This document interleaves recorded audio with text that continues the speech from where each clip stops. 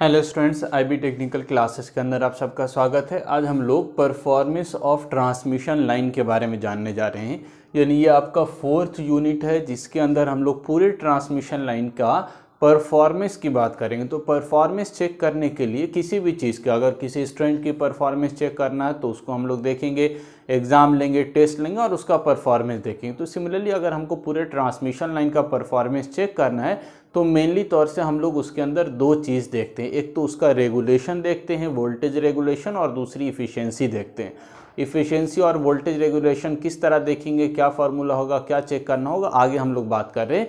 तो सबसे पहले ट्रांसमिशन लाइन का परफॉर्मेंस चेक करने के लिए ट्रांसमिशन लाइन को हम लोग तीन कैटेगरी में बांट देते हैं, ताकि हम उसका परफॉर्मेंस यानी वोल्टेज रेगुलेशन इफ़िशेंसी लॉसेज ये सारी चीज़ मालूम कर सके।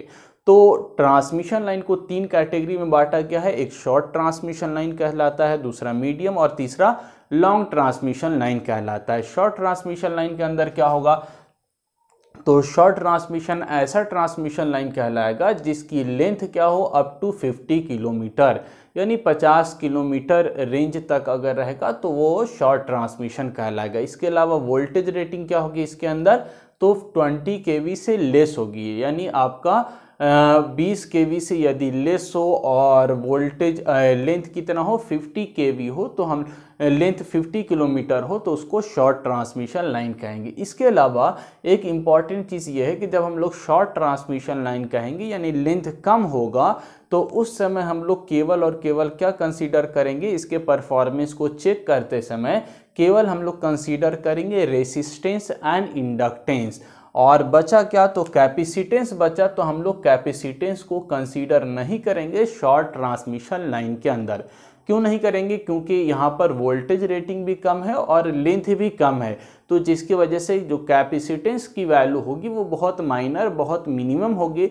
इसीलिए शॉर्ट ट्रांसमिशन लाइन के अंदर कैपेसिटेंस को नेगलेक्ट कर दिया जाता है और कैलकुलेशन करते समय परफॉर्मेंस चेक करते समय, इसकी वोल्टेज रेगुलेशन इफिशियंसी लॉसेज ये सारी चीज़ निकालते समय हम लोग केवल रेसिस्टेंस और इंडक्टेंस की बात करेंगे और हम लोग ट्रांसमिशन के अंदर केवल रेसिस्टेंस इंडक्टेंस को दिखाएँगे और कैलकुलेशन करेंगे। तो यहाँ पर इंडक्ट कैपेसिटेंस को नेगलेक्ट कर दिया जाता है क्योंकि इसकी वैल्यू बहुत माइनर होती है।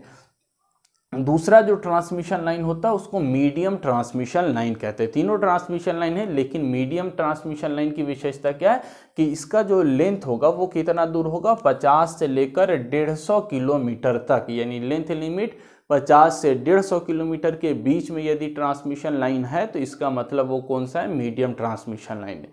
दूसरी चीज़, यहाँ पर जो वोल्टेज रेटिंग होगी मीडियम ट्रांसमिशन लाइन के अंदर, वो कितनी होगी? तो 20 के से लेकर 100 के तक। 20 के से 100 के लेंथ का ट्रांसमिशन, यानी वोल्टेज रेटिंग अगर 20 के से 100 के है तो इसका मतलब आपका मीडियम ट्रांसमिशन लाइन। और तीसरा और इंपॉर्टेंट चीज़ क्या है? रेसिस्टेंस, इंडक्टेंस और कैपेसिटेंस। तीनों चीज़ इसके अंदर कंसीडर की जाएगी मीडियम ट्रांसमिशन लाइन के अंदर। ठीक है तो तीनों चीज़ हम लोग मीडियम ट्रांसमिशन लाइन के अंदर तीनों चीज़ कंसीडर करेंगे। एक रेसिस्टेंस दूसरा इंडक्टेंस और तीसरा कैपेसिटेंस तीनों चीज़ कंसीडर किया जाएगा। लेकिन ध्यान देने वाली बात यह है कि हम लोग जब कैपेसिटर कंसीडर करेंगे तो कैपेसिटर कंसीडर करने का दो तरीका होता है। एक होता है distributed over all along the line distributed करने का मतलब पूरे ट्रांसमिशन लाइन के अंदर आप कैपेसिटर दिखाएँगे, हर जगह पर कैपेसिटर कैपेसिटर, पूरे ट्रांसमिशन लाइन के अंदर कैपेसिटर दिखाना। कैपेसिटर ट्रांसमिशन लाइन में कहाँ से आ जाता है? तो कैपेसिटर या कंडेंसर ऊपर में लगा हुआ नहीं होगा, कैपेसिटर फॉर्म हो जाता है। तो कैपेसिटर आपने पढ़ा होगा, कैपेसिटर क्या होता है? तो नथिंग बट दो कंडक्टर हो और बीच में डायलेक्ट्रिक मीडियम हो। तो जहाँ पर भी दो कंडक्टर और बीच में डायलेक्ट्रिक मीडियम होता है, वहाँ पर कैपेसिटर फॉर्म हो जाता है। तो ट्रांसमिशन लाइन के अंदर भी क्या है? एक तो आपका कंडक्टर, यानी ऊपर में ओवरहेड कंडक्टर, ऊपर में जो रन कर रहा ट्रांसमिशन लाइन, वो एक कंडक्टर है, पॉजिटिव कंडक्टर। और दूसरा आपका अर्थ है, ये दूसरे कंडक्टर की तरह, ज़ीरो पोटेंशियल की तरह काम करेगा। तो इन दोनों के बीच में क्या हो जाता है? कैपेसिटर। बीच में क्या है? एयर डायलेक्ट्रिक मीडियम की तरह काम करता है। तो आपका ट्रांसमिशन लाइन और नीचे ग्राउंड के बीच में एक कैपेसिटर फॉर्म हो जाता है। तो ये कैपेसिटर को एक जगह नहीं, पूरे ट्रांसमिशन लाइन के अंदर होगा, लेकिन मीडियम ट्रांसमिशन लाइन के अंदर कैपेसिटर की वैल्यू तो होती है, लेकिन बहुत ज़्यादा कैपेसिटेंस की वैल्यू नहीं होती है। इसीलिए हम लोग क्या करते हैं कैपेसिटेंस की वैल्यू को किसी एक पार्टिकुलर जगह हम लोग दिखाते हैं या हम लोग अलग अलग तरीका होता दिखाने का, लेकिन पूरे ट्रांसमिशन लाइन के अंदर नहीं दिखाते तो मीडियम ट्रांसमिशन लाइन के अंदर जो कैपेसिटेंस दिखाने का तरीका होता है, उसी के आधार पर इस ट्रांसमिशन लाइन को दो तीन कैटेगरी में बांटा जाता है। तो हम लोग एक क्या कहते हैं, जैसे आपका नॉमिनल ये जैसे हम अभी देखा है बीच में केवल कैपेसिटी ये मान के चलिए पूरा ट्रांसमिशन लाइन है, बहुत लंबा ट्रांसमिशन लाइन है, लेकिन केवल एक जगह पर कैपेसिटर हम लोग दिखा दिया, इसको लंपुड मेथड कहते हैं, यानी एक जगह पर दिखाना। तो ये बीच में अगर हम केवल दिखाएँगे तो ये क्या कहलाएगा? नॉमिनल टी मेथड कहलाएगा, यानी बीच में कैपेसिटर को दिखा दिया, पूरे ट्रांसमिशन लाइन में नहीं दिखाएँ, क्योंकि इसकी वैल्यू बहुत ज़्यादा नहीं होती है। आसानी के लिए ईजिली कैलकुलेशन के लिए किसी एक जगह पर दिखाया जाएगा तो ये क्या कहलाएगा? नॉमिनल टी मेथड कहलाएगा। नॉमिनल टी मेथड कहलाएगा। यदि हम लोग कैपेसिटर को किसी एक जगह पर दिखाते हैं तो एक जगह पर दिखाएँगे तो नॉमिनल टी मेथड कहलाएगा। और यदि ट्रांसमिशन लाइन को हम क्या कर रहे हैं, केवल लास्ट में पूरा ट्रांसमिशन लाइन है और लास्ट में केवल कैपेसिटर को दिखा रहे हैं तो ये क्या कहलाएगा? इंड कंडेंसर मेथड कहलाएगा। यानी पूरे ट्रांसमिशन लाइन का कैपेसिटर को एक जगह दिखा दिया और कहाँ पर? लास्ट में दिखा दिया। तो इंड कंडेंसर मेथड कहलाएगा और किसी दो जगह पर दिखा दें, यानी शुरुआत में और लास्ट में दिखा देंगे तो देखिए ये पाई की तरह बन गया। तो ये क्या कहलाएगा नॉमिनल पाई मेथड कहलाता। आगे इसके बारे में डिटेल में डिस्कशन करेंगे। तो आपका मीडियम ट्रांसमिशन लाइन तीन कैटेगरी में बटेगा। एक nominal T method, nominal pi method, और इंड कंडेंसर मेथड बनेगा, जो डिपेंड करता है यहाँ पर जो कैपेसिटेंस की वैल्यू है, इसको हम कहाँ पर दिखा रहे हैं। रेसिस्टेंस इंडक्टेंस दिखाएँगे, साथ ही साथ कैपेसिटेंस भी दिखाएँगे, लेकिन कैपेसिटेंस को किसी एक जगह पर दिखाएँगे तो जहाँ पर दिखा रहे हैं, उसके अनुसार अलग अलग मेथड होता है। यानी ट्रांसमिशन के अंदर तो पूरे में होगा, लेकिन सॉल्यूशन करने के लिए परफॉर्मेंस को चेक करने के लिए मैथमेटिकल एनालिसिस करने के लिए, आसानी के लिए हम लोग क्या करते हैं कैपेसिटर को किसी एक जगह दिखाते हैं और तीन जगह पर दिखाया जा सकता है तो इस मेथड को, यानी ट्रांसमिशन लाइन के मीडियम ट्रांसमिशन लाइन को सॉल्व करने के लिए तीन मेथड अपनाया जा सकता है। एक इंड कंडेंसर मेथड कहलाएगा, लास्ट में दिखाएँगे तो इंड कंडेंसर मेथड, बीच में दिखाएँगे तो नॉमिनल टी मेथड, ये वाला नॉमिनल टी मेथड, और दोनों साइड में दिखाएँगे लास्ट और शुरू में तो नॉमिनल पाई मेथड कहलाएगा। तो ये मीडियम ट्रांसमिशन लाइन की बात होगी, तीसरा लॉन्ग ट्रांसमिशन लाइन होगा। लॉन्ग ट्रांसमिशन लाइन की पहचान क्या है? जो आपका लेंथ होगा, वो डेढ़ सौ किलोमीटर से ज़्यादा होगा और वोल्टेज रेटिंग 100 के से अधिक होगी। तो यदि ट्रांसमिशन लाइन के अंदर 100 किलोमीटर से ज़्यादा लंबाई हो, डेढ़ सौ के से ज़्यादा वोल्टेज हो तो ऐसा transmission line long transmission line कहलाता है। और इस ट्रांसमिशन लाइन के अंदर भी हम तीनों चीज़ कंसीडर करेंगे। कैलकुलेशन करते समय परफॉर्मेंस चेक करते समय इफिशियंसी वोल्टेज रेगुलेशन लॉसेज निकालते समय रेसिस्टेंस इंडक्टेंस और कैपेसिटेंस लेकिन यहाँ पर अब कैपेसिटेंस लॉन्ग ट्रांसमिशन लाइन के अंदर लेंथ भी बहुत ज़्यादा है और कहीं आपकी वोल्टेज रेटिंग भी बहुत ज़्यादा है।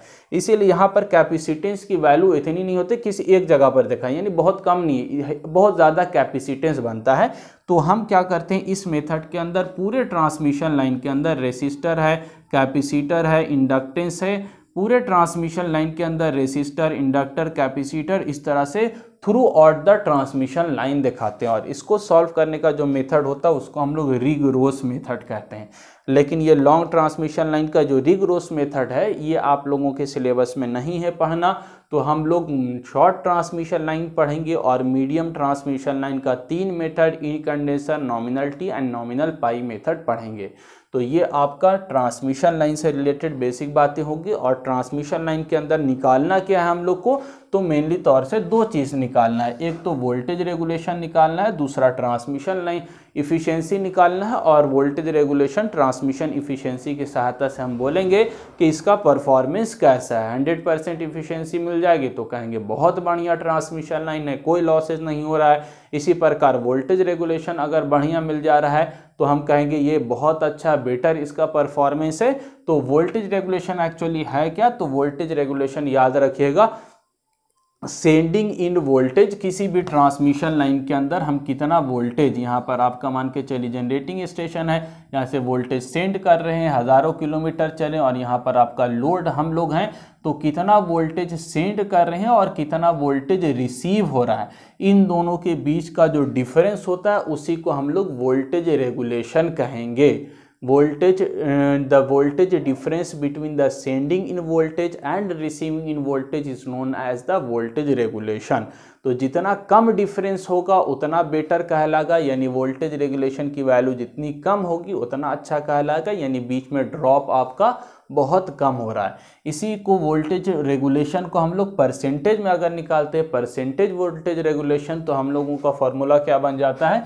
ये जो फॉर्मूला है परसेंटेज वोल्टेज रेगुलेशन का। V S minus V R बटा वी आर गुना hundred sending end voltage minus receiving end voltage बटा रिसीविंग इन वोल्टेज गुना हंड्रेड तो ये वोल्टेज रेगुलेशन इसके अलावा ट्रांसफार्मर के अंदर भी वोल्टेज रेगुलेशन होता है जनरेटर के अंदर भी, बाकी मशीन के अंदर. लेकिन ट्रांसमिशन लाइन के अंदर होता है सेंडिंग इन वोल्टेज और रिसीविंग इन वोल्टेज के बीच के डिफरेंस को हम लोग वोल्टेज रेगुलेशन कहते हैं. ये वोल्टेज रेगुलेशन जितना कम होगा, उतना अच्छा सिस्टम कहलाएगा। वोल्टेज रेगुलेशन की वैल्यू मिनिमम होनी चाहिए। ज़्यादा वैल्यू है, इसका मतलब ट्रांसमिशन के अंदर ज़्यादा वोल्टेज ड्रॉप हो रहा है, जितना सेंड कर रहे हैं, उतना रिसीव नहीं हो पा रहा है। और ट्रांसफार्मर मशीन के केस में अलग परिभाषा होता है। वहाँ पर होता है, नो लोड की स्थिति में उसकी वोल्टेज की वैल्यू क्या है, और फुल लोड की स्थिति में उसकी वोल्टेज की वैल्यू क्या है? ट्रांसफार्मर को आपने नो लोड कंडीशन में वोल्टेज मेज़र किया और जब पूरा लोड कनेक्टेड था, तब वोल्टेज मेज़र किया तो no load voltage minus full load no load minus no load voltage minus full load voltage value तो ये जो डिफरेंस होता है उसी को हम लोग क्या कहते हैं? वोल्टेज रेगुलेशन कहते हैं। जितना वोल्टेज अंतर आ रहा है लोड कनेक्ट नहीं था नो लोड था तब, और पूरी तरह से लोड कनेक्टेड हो रहा है, तब वोल्टेज कितना बच गया। तो दोनों का अंतर वोल्टेज रेगुलेशन कहलाएगा।